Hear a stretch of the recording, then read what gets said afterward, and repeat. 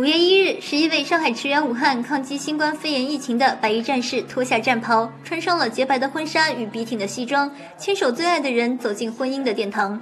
当日，上海交通大学医学院附属仁济医院为十对新人举办了一场特殊的集体婚礼。十位新娘和一位新郎是上海市第八批仁济医院第三批支援湖北医疗队队员。消化科医生陆军涛与丈夫胡庆祥是大学同学。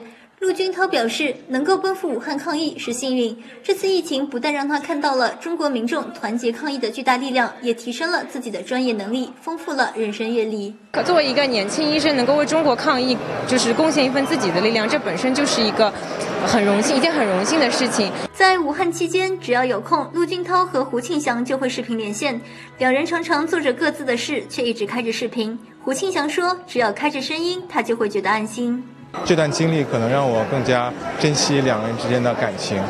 嗯，那你以后会怎么对他呢？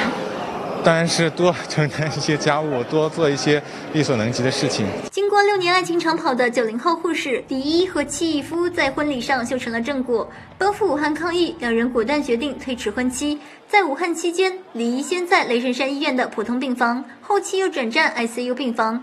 他深深感悟着作为护士的职责和价值。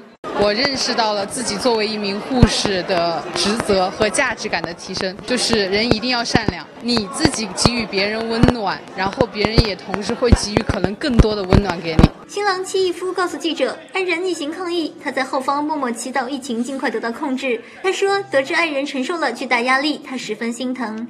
他比较需要人的关关爱嘛，对吧？所以我会每天打电话给他的。我这个人他不太会讲故事，但是我会比较会讲冷笑话。平反正平常调动调动他的情绪啊，让他舒缓一下。九五后护士夫妻周林毅和于金海的领证和婚礼计划被疫情叫停，两人转而共赴武汉抗疫。期间，雷神山医院为他们举行了简单而温馨的战地婚礼。回到上海，两人解除隔离观察后的第一件事情就是去登记结婚。今天，周林毅如愿穿上了纯洁的婚纱。